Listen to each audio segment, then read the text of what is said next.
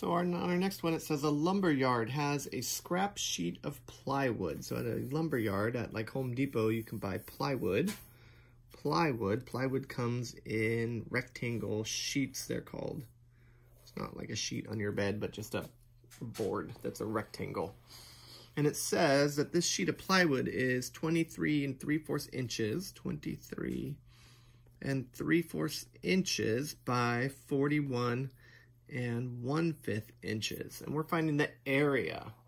Now, this is a rectangle, so we're finding the area of our rectangle. So we're going to be using area equals length times width.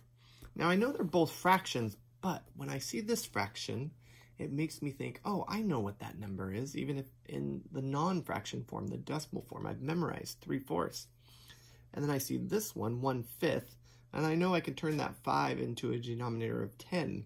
So I'm always looking for opportunities to change these fractions into decimals because they're just easier form to work with.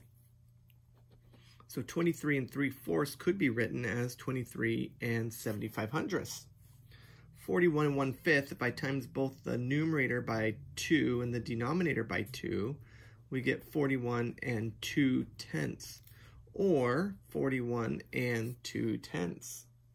So now I have a width, 23 and 75 hundredths, and a length, 42 and 2 tenths. I can multiply those two together and get the area. Oop, I messed up on that. Area equals 41 and 2 tenths times 23 and 75 hundredths. So there's the area, and remember this is inches, and for area it's always squared. So the area will be whatever you found in inches squared. Good job.